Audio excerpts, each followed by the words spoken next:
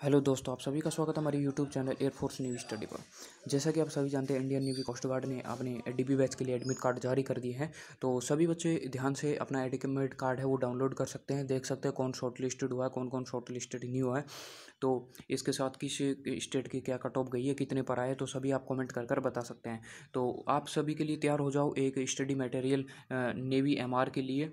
और उसके साथ Indian coast guard DB batch के लिए बना दिया है। आपको उन्हीं को पढ़कर जाना है। उनमें से आपके सौ परसेंट आपके मार्क्स आ जाएँगे। ठीक है? तो नए हो तो चैनल को सब्सक्राइब कर सकते हो, वीडियो को लाइक कर सकते हो कमेंट कर कर ज़रूर बताइए कि वीडियो कैसी लगी। और यहाँ पर जैसे ही आप सरकारी एग्ज़ाम पर जाते हो, यहाँ पर आपको देखना है सरकारी एग्ज़ाम जैसे ही आप सरकारी एग्ज़ाम पर क्लिक करोगे, सरकारी एग्ज़ाम की साइट पर जैसे ही जाओगे तो वहाँ पर आपको इस तरह का इंटरफेस देखने को मिलेगा। तो जैसे इंटरफेस देखने को मिलेगा, ये साइट पूरी ओपन होती है तो वहाँ पर एडमिट कार्ड पर देखोगे तो join Indian join coast guard नाविक डीबी एडमिट कार्ड 2000 जैसे इस पर क्लिक करते हो तो आपको स्क्रॉल करते जाना है। जैसे आप स्क्रॉल करते जाओगे तो यहाँ पर आपका डाउनलोड एडमिट कार्ड।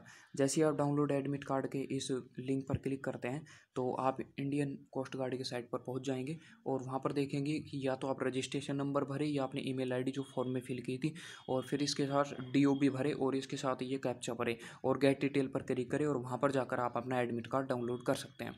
अब यहाँ पर देखिए नेवी एमआर के स्टूडेंट अब एडमिट कार्ड तो सब डाउनलोड हो जाएँगे। नेवी एमआर के स्टूडेंट है, उनका भी वैकेंसी आएगी, और उनका भी ऑनलाइन फॉर्म स्टार्ट है और Indian coast guard D batch के लिए लगभग आप सभी को पता है, एक महीने में, बीस दिन में सभी के एडमिट वो ऑनलाइन एग्ज़ाम चालू है। तो यहाँ पर जो एग्ज़ाम है वो स्टार्ट है ऑफलाइन एग्ज़ाम होंगे कोस्ट गार्ड डी के लिए। तो यहाँ पर मैं कुछ इंपॉर्टेंट बात बता दूँ आपके लिए।